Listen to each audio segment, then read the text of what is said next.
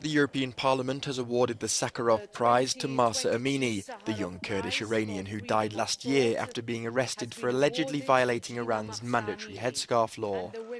The prize was also awarded to the social movement that was sparked by Amini's death, Women Life Freedom. The Sakharov Prize for Freedom and Conscience is the highest tribute paid by the EU in the field of human rights. The award recognises the work and bravery of tens of thousands of Iranian women who took to the streets for months to protest Amini's death in defiance of the Iranian regime. The protests spread quickly throughout the country and only ended after a bloody repression that left more than 500 dead and some 22,000 detained. Last year's prize was awarded to the people of Ukraine for their resistance to Russia's invasion and defiance in the ongoing war.